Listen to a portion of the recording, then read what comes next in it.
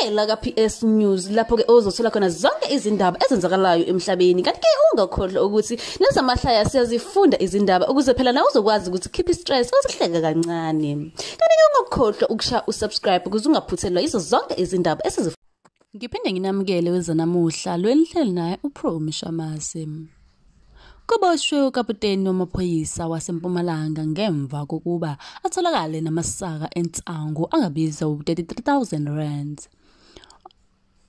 Leli phoyisa libanjwe onogada ngenkathi bezwa kuhwashazela emahlathini kanti belihamba ngemoto yomsebenzi nozakwabo kubika ukuthi lizamile ukugwazela abalibambile kodwa banqaba.